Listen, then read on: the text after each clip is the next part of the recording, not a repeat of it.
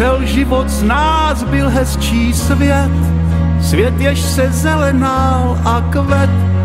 A mnohem teplejší byl fén, co tehdy vál.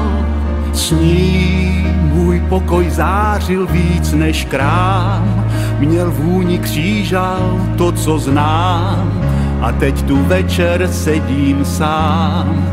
A ona není u mne dál. Padal čistší déšť i sníh, co znělo z jejich úst, to z mých, a my jsme vážně měli stále co si říct.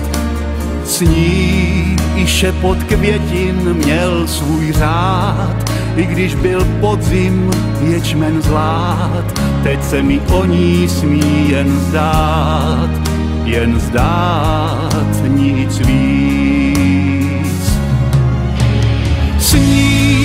Se nebe zdálo modré jako čbán, celý vesmír byl pro mne dogodán a věčně v tváři mi jen úsměv hrál. S ní cítil jsem v ústech sladkost karamel a starý kabát, co jsem tehdy měl, byl za pár korun, ale tím